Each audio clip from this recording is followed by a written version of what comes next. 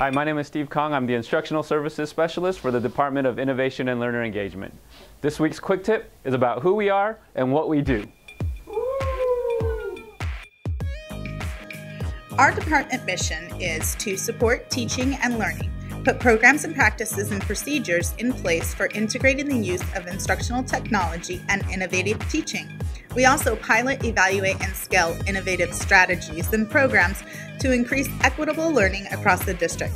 In collaboration with stakeholders across the district, our goal is to ensure that all students leave RUSD college, career, and world ready, prepared with 21st century skills. The director of our department is Steve Dunlap, and his administrative assistant, who holds our department together, is Leticia Romero. We have three managers in our department Steve Harwood, who is the instructional tech coordinator and works to ensure everything with Google PowerSchool and student Chromebooks run smoothly.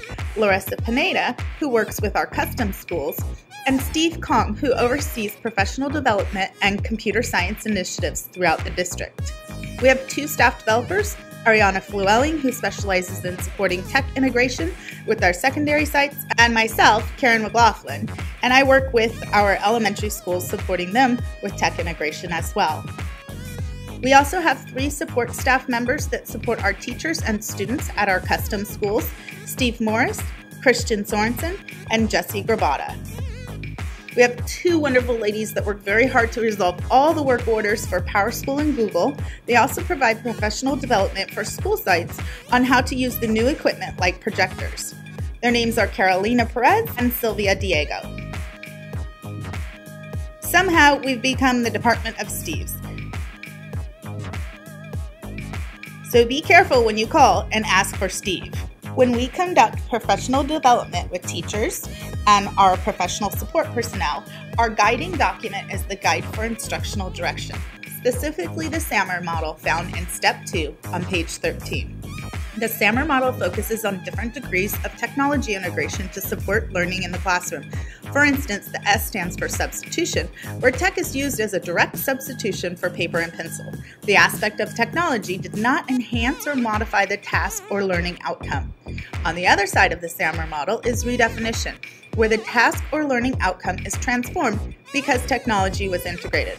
Usually, the outcome could not have been completed without the tech and involves creation and collaboration between students.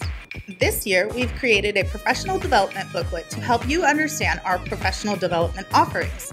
The digital version of the book can be accessed by using bit.ly forward slash ILEPD 17 18, and it's all capitals.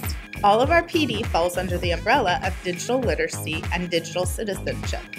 RUSD has a mantra which is the students and staff in RUSD will effectively, efficiently, and ethically use digital media and technology to communicate, create, and collaborate. We call it the three E's with the three C's.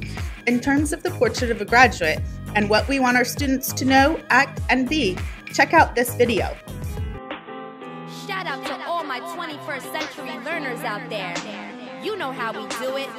Let's go. Yo, number one, I'm an empowered learner. I set goals and pursue them with fervor. My learning is up to me, it's not passive. My brain learns best when I am digitally proactive. Number two, I'm a digital citizen.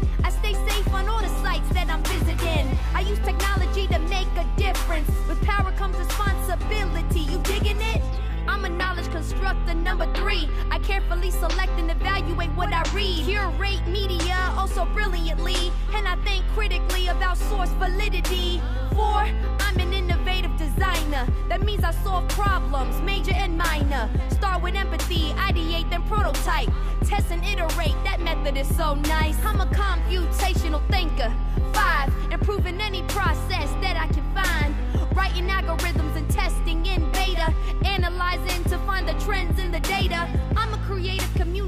that's six. Like I put this in a rap song to make it stick.